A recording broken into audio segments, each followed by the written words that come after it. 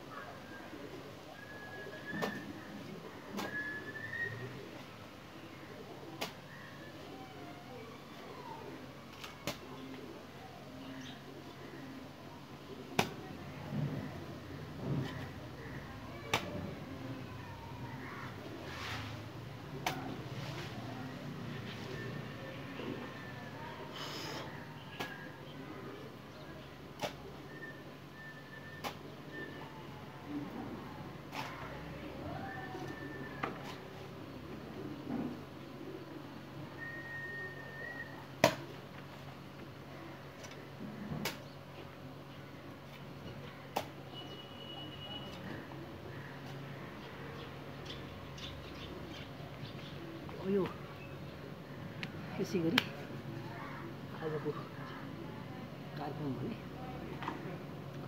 वस्तुसँग बारी खन्नु भनेको दृश्य र आजको एक्सर्साइज यसरी नै हुनेछ